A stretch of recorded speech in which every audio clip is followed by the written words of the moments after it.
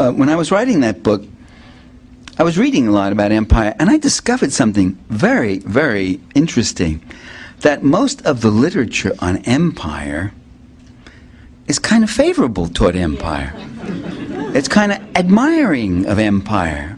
That, you know, empires are seen as grand accomplishments as bringing stability uh, where there had been chaos, uh, bringing peace and dominion among these uh, squabbling tribes, you know. You see that in those movies too, you know. The greatness of Rome. You must remember Rome. And we were like, we're all supposed to be sitting there going, Rome, whoa, whoa. And those are my ancestors, you know. Um, we even give empires peace names.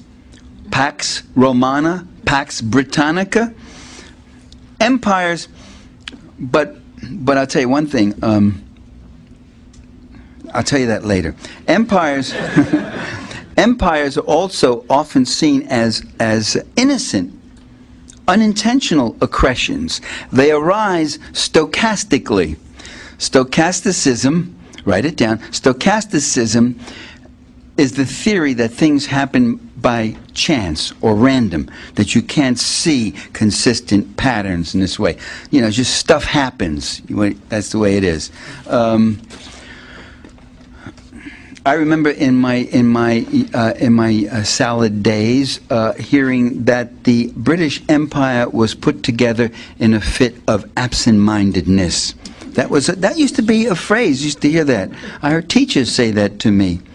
British historian Cyril Robinson, I quote him in the Caesar book, he says the same thing about the Roman Empire.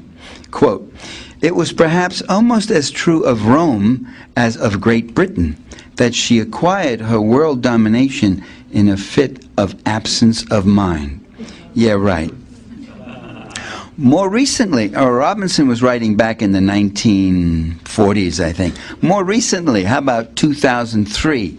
The Economist, an eminent conservative British publication, very eminent as you know, wrote the following in an unsigned editorial about, oh, in, in, um, in August 2003, about four months after the invasion of Iraq by U.S. forces, and this, this unsigned article was addressing that invasion.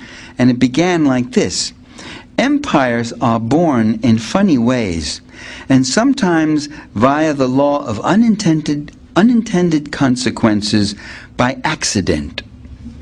Empires are born by accident. There it is, accident.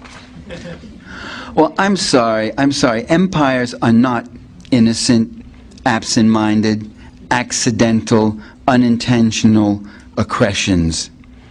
They are given force by purpose driven rulers who consciously have to mobilize vast amounts of men and materials to conquer and plunder far off places.